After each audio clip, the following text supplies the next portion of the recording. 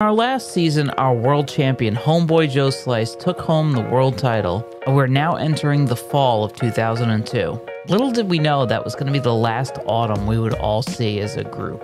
Now, at this time, some of the guys were going to start going to work, and some of us were going back into high school, so we had to set up a set schedule in order to film the show. We selected Mondays as the day that seemed it seemed to work for everybody, but by the time we got home from school and people got off work, it only really left us of, with 2 hours of daylight during the fall especially once that time change occurred. Some people were actually getting there a little bit later because of work, so we created the idea of splitting the roster and creating a completely separate show and company called the XWA to split the roster in half and tape half the show in daylight and the other half at night. This tape starts off with an issue we were having with the music.